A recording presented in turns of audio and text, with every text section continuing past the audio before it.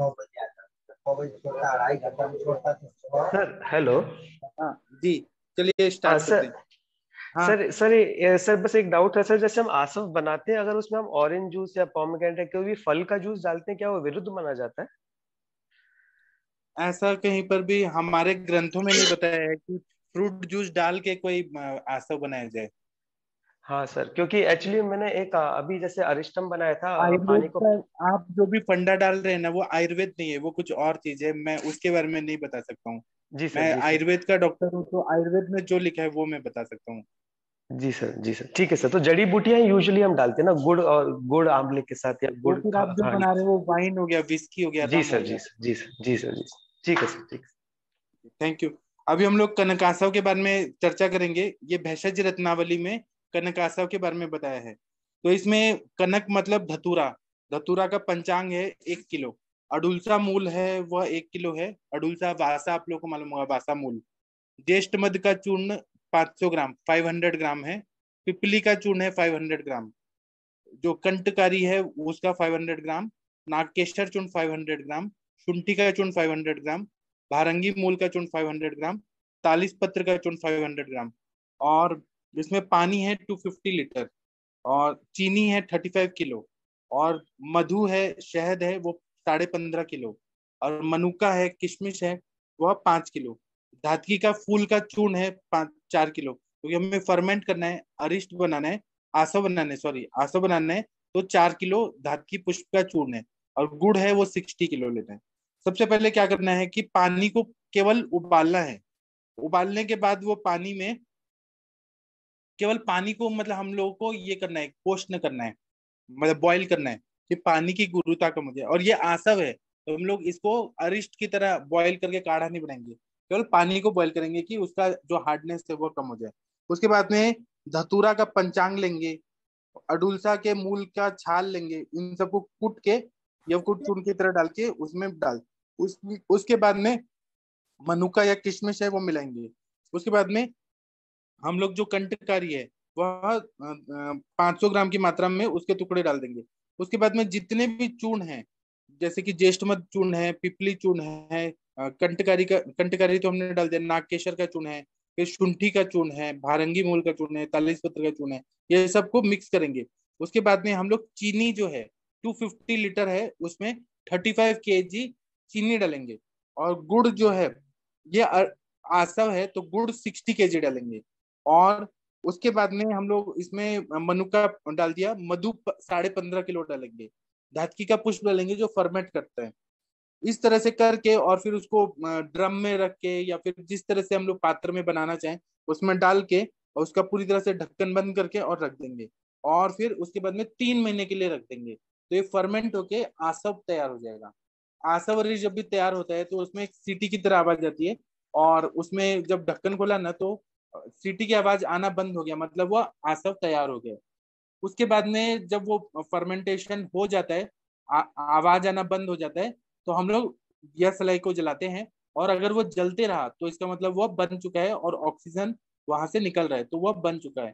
अगर वो बुझ जाता है तो मतलब कार्बन डाइऑक्साइड निकल रहा है और इसके वजह से हम लोग उसको और बंद करके फिर फर्मेंट होने को देते हैं। गर्मी के दिन में ट्वेंटी वन डेज़ में एक महीने में बन जाता है लेकिन ठंडियों में इसको टाइम लगता है। दूसरे सीज़न में टाइम लगता है। गर्मी के टाइम पे ये फर्मेंट जल्दी हो जाता है। उसी तरह से बहुत जगह भेषज रत्नावली के अलग अलग जो एडिशन आए उसमें यष्टि मधु के बदले में जो मधु का पुष्प रहता है, मोह का फूल रहता है, उसका प्रयोग करने के लिए बताया है। कुछ लोग यष्टि मधु को ही प्रयोग करते हैं।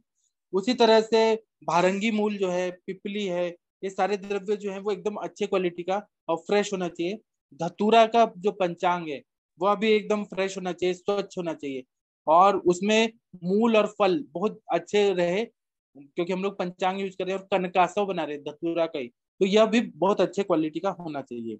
इसमें हम लोग दोष देखेंगे तो कनकासव फिर जब बन जाता है, उसको फिर बॉटल में पैकिंग करके हम लोग रख देते हैं।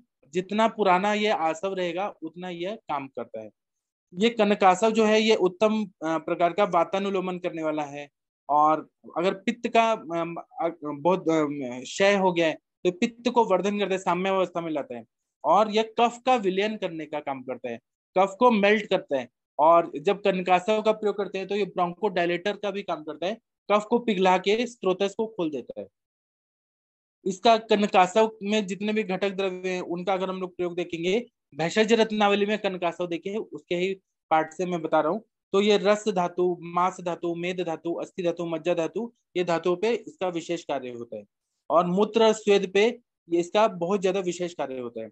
अगर हम लोग एनाटोमिकली देखें तो लंग्स पे कनकासव का अच्छा काम होता है, हृदय पे अच्छा काम होता है, श्वास नलिकाएँ जो रहती हैं ब्रोंकियल्स एल्वेलाइज उसमें बहुत अच्छा काम करता है, आमाशय पे इसका बहुत अच्छा काम होता है। और जो यूरेटर होता है जो हमारा किडनी से यूरेटर निकलता है, उसमें भी ये डायलेट करता है। उसी तरह से गॉल ब्लेडर सीबीडी जो रहता है गॉल ब्लेडर स्टोन को भी निकालना है। हम लोग त्रिविक्रम रस के अनुपान में इसका प्रयोग जहाँ पर भी पाइप जैसे संरचना रहती है, वहाँ पर ये डायलेट करता है। तो गॉल ब्लेडर स्टोन को भी निकालने के लिए डिजोल्व करके निकालने के लिए सीबीडी जब रहता है तो हम लोग सुचेकर रस के साथ या त्रिविक्रम रस के अनुपान के रूप में कनकासव का प्रयोग करते हैं। और यह सामावस्था में विशेष रूप से कार्य करता है। निरामावस्था में तो करेगा ही, लेकिन सामावस्था आम युक्त अवस्था में बहुत अच्छा काम करता है। और कनकासव जो है, उत्तम अग्निवर्धन का कार्य करता है। और ये धतूरा है तो एक तरह से विष, विषारी द्रव्य है। तो इसलिए सूक्ष्म है, विकासी है तीक्ष्ण है, उष्ण है, लेखन का कार्य करता है, कफ का शोषण का कार्य करता है, और शरीर में रुक्षता लाता है। उसी तरह से यह मधुर और कटु रसात्मक होता है। उष्ण वीर्यात्मक मतलब यह वीर्य में देखें तो उष्ण वीर्यात्मक होता है, और कटु विपाकी होता है मतलब पेट में जाके यह तीखा बन जाता है। इसका अगर प्रयोग करें तो पाँच भातिक तत्व देखें तो पृथ्वी और आप तत्व का शरण करता है। मतलब पृथ्वी और आप तत्व जिससे आम उत्पत्ति होती है, उसका शरण करता है, तेज तत्व का वर्धन करता है मतलब अग्नि को बढ़ाता है और वायु तत्व का अनुलोमन करके आकाश तत्व का वर्धन करता है। आकाश तत्व का वर्धन का मतलब स्त्रोतों को खोल देता है और वायु का अनुलोमन करता है। जहाँ पर भी प्राण वायु उदान वायु, अपान वायु, कहीं पर भी वायु रुकी हुई है, वहाँ पे अनुलोमन कर दे, उनकी प्राकृतिक गति को ला देता है। ग्रंथों में कनकासव का जो प्रयोग है, वह श्वास व्याधि में मतलब अस्थमा में ब्रोंकियल अस्थमा में, या फिर जो भी रेस्पिरेटरी सिस्टम की जितने भी व्याधि हैं, उसमें काम करता है, कास व्याधि में काम करता है, यक्षमा व्याधि में, जहाँ ट्यूबरकुलोसिस और एड्स जैसी यक्षमा व्याधि होती है, उसमें काम करता है। शत क्षीण किसी को चोट लग गया और वो बहुत ज़्यादा वीक हो गया है, या फिर वह अपने आप धातुओं का क्षीणता आ गई है, उसमें कनकासव का प्रयोग बहुत अच्छा रहता है, जीर्ण ज्वर जो रहता है, पुराना बुखार जो ट्वेंटी वन डेज़ के बाद भी बुखार आ रहा है, उसमें भी हमें कुछ तो ऐसा सूक्ष्म स्त्रोतोगामी ऐसा और आसव आसवरिश की ज़रूरत पड़ती है तो कनकासव का प्रयोग करने से बहुत अच्छा फ़ायदा होता है। फिर रक्त पित्त में भी ये काम करता है, पूरा शत में भी बहुत अच्छा काम करता है। अनुभविक विचार ऐसा है कि ये दमा की सबसे बेस्ट दवाई है आसवरिष्ठ में। कफ प्रदान खांसी जो रहता है, जिसमें बहुत ज़्यादा बलगम आता है और बहुत ज़्यादा पानी निकल रहा है, सर्दी है प्रतिशय है छींके आ रही है बहुत ज़्यादा। उसमें कनकासों का प्रयोग करने से बहुत अच्छा होता है। और अभी क्योंकि वसंत ऋतु शुरू होने वाला है तो वसंत ऋतु में कनकासों का डिमांड बहुत ज़्यादा बढ़ जाता है महाराष्ट्र में। क्योंकि सारे वैद्य लोग कनकासव ज़रूर देते हैं अपने पेशेंट को। कफ प्रधान जो सर्दी होता है, खांसी होता है, दमा होता है, उन सब में और उनके वजह से जो टीबी होता है ट्यूबरकुलोसिस होता है, या उराशत इंटरनल इंजरी हो जाती है लंग्स में चेस्ट में, उन सब में यह बेस्ट काम करता है। उसी तरह से इसकी मात्रा किसी किसी को एक एक चम्मच देना पड़ता है, किसी को पाँच एम देना पड़ता है, किसी को ट्वेंटी एम तक देना पड़ता है। प्रकृति के हिसाब से और अवस्था, व्याधि, इन सब के हिसाब से या सीज़न के हिसाब से इसकी मात्रा, अब गर्मी में अगर कनकासो देंगे तो एक दो चम्मच से काम चलेगा, ठंडियों में अगर देंगे, सर्दी खांसी है तो इसकी मात्रा बढ़ानी पड़ती है। तो ऋतु के हिसाब से, देश के हिसाब से, अगर गर्मी के क्षेत्र में जैसे कि आप दुबई में है और वहाँ बहुत ज़्यादा गर्मी पड़ रही है और वहाँ आपको कनकासव का प्रयोग करना है तो आपको एक चम्मच ही देना पड़ेगा। अगर आप कश्मीर में है या फिर आप लोग वहाँ पे यूरोप में है तो इसकी मात्रा थोड़ा ज़्यादा देना पड़ेगा। तो देश का भी प्रभाव पड़ता है, प्रकृति का प्रभाव पड़ता है, मनुष्य की प्रकृति का प्रभाव पड़ता है पित्त प्रकृति वालों को हमें कम देना पड़ता है, कफ वात प्रकृति वालों को ज़्यादा देना पड़ता है। और इसको साथ में पानी के साथ मिक्स करके दे सकते हैं या फिर पोषण जल के साथ भी दिया जाए तो बहुत अच्छा फ़ायदा करता है। इसको खांसी की जब वेगावस्था आती है तो बार बार थोड़ा थोड़ा मात्रा में सिप बाई सिप देने से बहुत अच्छा फ़ायदा करता है, क्योंकि ये ब्रांको डायलेटर होता है। और सिप बाई सिप जो मुहर मुह काल बोला है, और नहीं तो खाना खाने के बाद सुबह शाम हम लोग देते हैं तो बहुत अच्छा फ़ायदा होता है। इसमें किसको नहीं देना चाहिए? तो इसमें धतूरा है, वो उत्तम कफग्न है, और कफ का विलयन करने वाला है। दमा का वेग को तत्काल आराम देने वाला है। लेकिन यह धतूरा जो है, वो बहुत ज़्यादा उष्ण वीर्यात्मक होता है और कटु विपाकी होता है और बहुत ज़्यादा कटु रस का होता है। तो धतूरा का है ये कनकासव तो जिनका पित्त बहुत ज़्यादा थोड़ा भी हाइपर एसिडिटी हो जाती है, कोई भी तीक्ष्ण द्रव्य से आसवरिष्ट एसिडिटी हो जाती है, उनको यह पित्त मतलब बहुत ज़्यादा पसीना ला देगा और बहुत ज़्यादा कॉम्प्लिकेशन चक्कर वगैरह आ सकता है। तो जो धतूरा के जो विषारी परिणाम है, वह आने के चांसेस होते हैं। तो जिनको हाइपर एसिडिटी है या जिनको साथ में नहीं है कनकासा उनको बिल्कुल भी नहीं देना चाहिए। उसी तरह से आ, आ, क्या तकलीफ़ हो सकता है अगर कनकासव दे दिया और उनके बॉडी को सूट नहीं कर रहा है तो बहुत ज़्यादा वो लोग को बेहोशी आएगी बेचैनी हो जाएगा और चक्कर आने लगेगा और यूरिन कम होने लगेगा और बहुत ज़्यादा जलन होने लगेगा। तो कनकासव जो है वह कम दे या न दे उनके लिए हमें ध्यान देना पड़ता है। उसी तरह से इसको बहुत सारे वैद्य जो है वो कफ प्रधान कास्ट जो है जो मतलब जिसमें बलगम आ रहा है, वो उसमें देते हैं, श्वास व्याधि में करते हैं। और इसमें क्योंकि ना ये तत्काल गुण देने वाला मेडिसिन है। तुरंत ही इमीडिएट ही बहुत ज़्यादा ये काम करने वाला दवाई है। और इसमें ज्येष्ठ मद है, मनुका है, ऐसे सौम्य स्वभाव की दवाई होने से मतलब सौम्य डाला हुआ है, तब भी इसकी तीक्ष्णता, उष्णता कम नहीं होता है। इसको ध्यान में रखिए। ये श्वास व्याधि में बहुत अच्छा काम करता है। और जब कोई भी दवाई काम नहीं कर रहा है श्वास में। सारी दवाइयाँ फेल हो गई। आपने श्वास कुठार रस दिया, श्वास काश चिंतामणि रस दिया, रस सिंदूर दिया। कोई भी दवाई काम नहीं कर रहा तब ये कनकासव देने से बहुत अच्छा फ़ायदा हो जाता है। क्योंकि यह क्या करता है कि ये ब्रोंको डायलेटेशन करता है। दूसरे द्रव्य जो है, कफ को विलयित करेंगे, लेकिन ब्रोंकस को डायलेट करना बहुत ज़रूरी होता है। तो जितने भी मतलब श्वास नल गए उनको खोलना ब्रोंकस को डायलेट करना, उसके लिए कनकासव का इसका प्रॉपर्टी है, कनक का मतलब धतूरा का, इसलिए इसका प्रयोग करते हैं। और साथ में हमें गर्म पानी का जो हॉट वाटर बैग है, उससे सेक सकते हैं। अगर श्वास बहुत ज़्यादा लग रहा है तो। और छाती में सरसों का तेल लगा सकते हैं, अलसी का काढ़ा लगा सकते हैं, खांसी के अलग अलग क्वाथ आते हैं, उसका प्रयोग कर सकते हैं। फिर उसी तरह से इंटरनली हम लोग कुमारी का एलोवेरा का जेल दे सकते हैं या फिर एलोवेरा जूस दे सकते हैं एलादी वटी दे सकते हैं। सीतोपल आदि चूर्ण दे सकते हैं रजन्यादि वटी दे सकते हैं।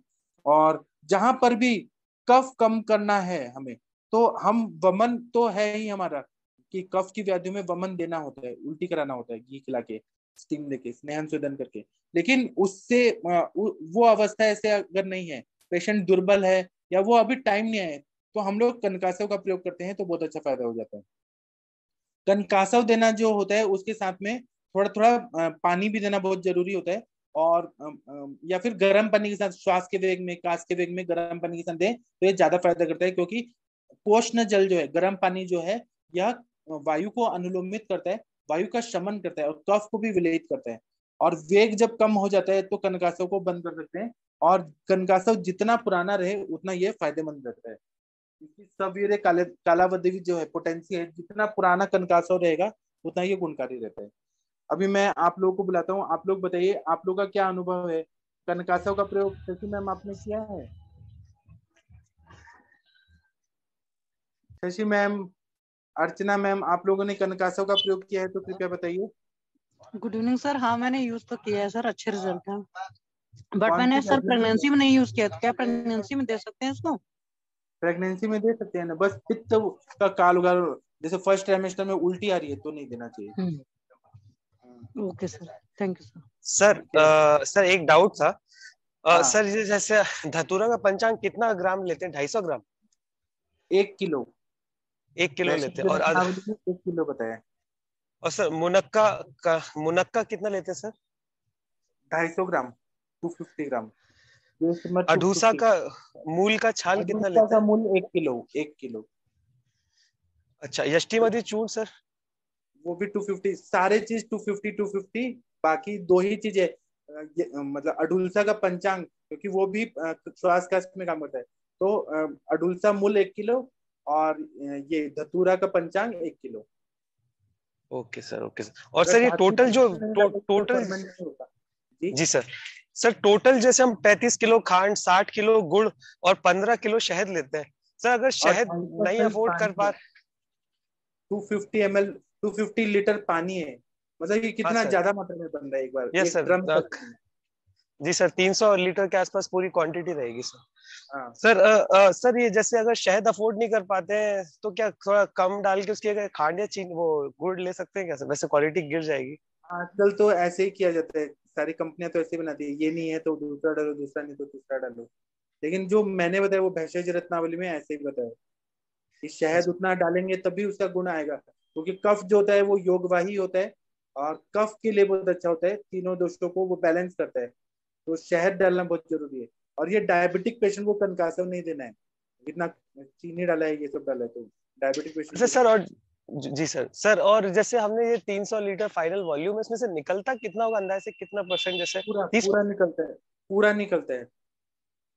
अच्छा yes sir sir uh, sir और ये सर एक शहद का अगर आपके पास कोई नंबर है जो थोक में शहद दे सके तो प्लीज़ शेयर कर लीजिएगा। हाँ हाँ जी। ओके थैंक यू ठीक है thank you. Doctor Kavita ma'am Sunita ma'am आप लोगों ने यूज़ किया है? डॉक्टर मनीषा सिंह मैम आप लोगों ने यूज़ किया है? कनकासव का प्रयोग। अगर किया है तो बताइए कौन कौन से व्याधियों में किया है? किडनी स्टोन में किया है आप लोगों ने? प्रणाम सर। हाँ प्रणाम। एक मिनट मनीषा मैम आप बोलिए फिर जितेंद्र मिश्रा जी बोलेंगे। हाँ मैम बोलिए जी सर ये तो श्वास कांस वालों के लिए तो पेटेंट है सर और छह रोगियों में भी प्रयोग करते हैं। और जो पुराना ज्वर है उसमें भी रोगियों को देते हैं। पूरा छतवाल में तो बहुत अच्छा फ़ायदा करता है सर। इसमें यदि नींद भी नहीं आती है और कंटिन्यूसली यदि कास है रोगी को रात में ज़्यादा जिसको आता है तो उसमें गर्म गुनगुना पानी में इसको मिला करके और बीस से तीस एम एल यदि दे देते हैं तो अच्छी नींद भी आती है और उनके कास में बहुत फ़ायदा भी मिलता है। श्वास नली का जो संकुचन होता है, उसको ही बहुत अच्छा बल प्रदान करता है, जो कि हमारे अलग जो मेडिसिन लेते हैं अपन एलोपैथी में तो उसकी फिर हमको आवश्यकता नहीं पड़ती है। और दमा वालों को तो रेगुलरली देते ही हैं सर इसमें। इसमें, यदि अच्छी क्वालिटी का यदि है कनकासा तो बहुत ही बेस्ट और बहुत जल्दी फास्ट रिज़ल्ट मिलता है। कई पेशेंट हमारे ऐसे हैं जो दमा रोगी हैं और कई सालों से हैं तो उनको और औषधियों के साथ इसके अनुपान के साथ देते हैं। तो सर, सालों साल स्वस्थ हैं वो। और जैसे अभी बना बात की है सर की शहद का तो शहद तो शायद नहीं डालते हैं सब गुड़ का ही इसमें मिलता है स्वाद लगभग। लेकिन शहद डालने से और ज़्यादा गुणकारी बन जाता है ये। हाँ सर वो लेकिन वो कॉस्ट भी आता है फिर लोगों को उसमें भी दिक्कत होती है। और इसमें सर अभी तो जैसे हमारे अज दर्पण पे सब चल रहा था तो सीबीडी में भी यूज़ करने लगे हैं तो जो वो पेन होता है क्रैम्पिंग मैं तो महिलाओं को भी देती हूँ सर वो पीरियड टाइम में जैसे उनको वातस कफज वाली हैं तो उनको क्रैम्पिंग हुआ काफ़ी पेन होता है मतलब उठ भी नहीं पाती हैं तो उसमें भी मैं इसको देती हूँ कनकासव को। तो उसमें अच्छा फ़ायदा मिलता है सर। जी सर। बहुत अच्छा बताया मैम आपने ये जो बताया कि जब डिसमेनोरिया है उसमें भी काम होता है। ना? जी सर। सर वो जो अपनी एक पेशेंट थी ना जिसको प्रॉब्लम हो था अभी ten point five centimetre fibroid था तो उसको भी अभी जो लास्ट टाइम पीरियड आया तो बहुत पेन हो रहा था। तो फिर उसको मैं एडवाइस कर दी कि दो सौ एम का ले लो और इसको आप चालीस चालीस एम रात में ले लो। तो बहुत अच्छे से गया और बहुत बढ़िया गया और अभी वो सोनोग्राफी मिली थी तो उसका साइज़ भी कम हो गया सर। ओनली वन वीक के ही ट्रीटमेंट में। आगे और चला रहे हैं सर उसका और मैं अपडेट देते रहूँगी। जी sir thank you thank you ma'am Vaidya Prashant Bhatt जी आपने यूज़ किया है? वैद्य जितेंद्र मिश्रा जी आपने यूज़ किया है कनकासव का? जी बोलिए मिश्रा जी जितेंद्र मिश्रा जी आपने यूज़ किया है? अगर नहीं बोलना है तो कोई बात नहीं अभी हम सेशन बंद करते हैं। हेलो बोलना चाहते हैं तो बोल सकते हैं ऐसे। हेलो हाँ सर बोलिए बोलिए। हाँ नमस्ते। हाँ में देते हैं सर इसमें ना दस मूल के साथ तनकासो और अभियारिष्ट मिला के देते हैं सर बड़ा अच्छा काम करता है। जी। और सर श्वास रोगों में तो काफ़ी अच्छा है निमोनिक पेशेंट में भी काफ़ी अच्छा काम करता है। दोनों कितना डोज में देते दोनों? हैं सर। दो थी।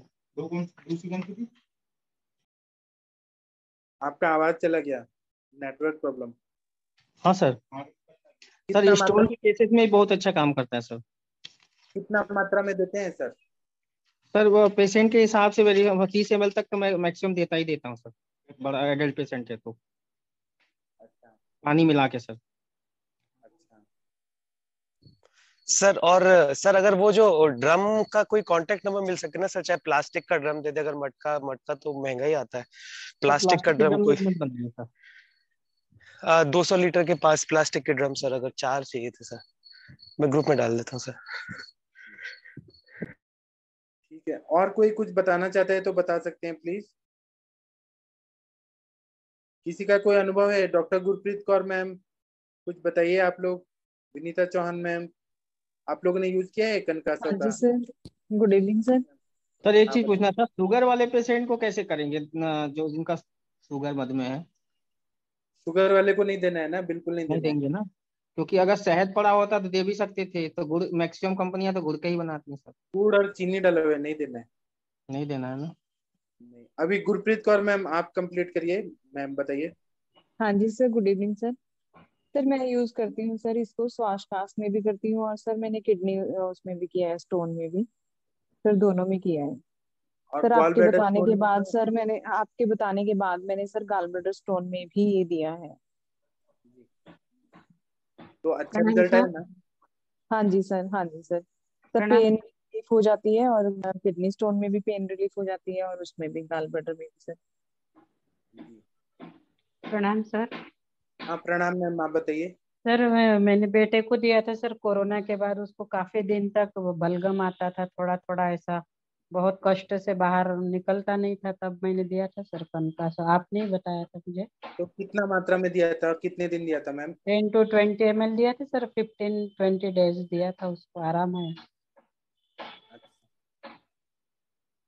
मैम बहुत अच्छा आपने बहुत अच्छा बताया कि कोरोना के टाइम पे भी बहुत सारे लोगों ने यूज़ किया था। हाँ रिज़ल्ट है थैंक यू तो आप लोग भी यूज़ करिए डिसमेनोरिया में दशमूला रेस्ट के साथ प्रयोग करिए तो बहुत अच्छा फ़ायदा होता है। एक तरह से वेदना का शमन भी करता है ना ये कनकास्तव पेन किलर भी है तो बहुत अच्छा काम करता है, दीपन पाचन भी करता है।